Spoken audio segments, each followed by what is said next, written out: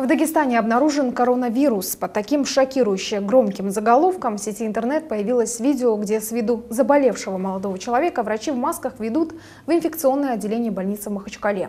Якобы это тот самый дагестанец, у которого ранее выявили коронавирус в Азербайджане. Все нормально будет. У нас инфекционное отделение очень хорошее. Специалисты очень хорошие. Но выяснилось, что видео учебно-показательное. Минздрав республики проводит учения, чтобы хорошо подготовиться к возможному появлению коварного заболевания на территории республики.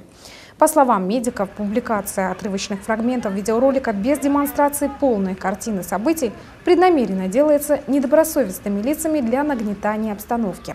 Вот так пояснили ситуацию в медицинском ведомстве. Минздрав Дагестана заявляет, что случаев заболевания коронавирусной инфекцией на территории республики нет. Учения по профилактике инфекции неоднократно анонсировались Минздравом Дагестана.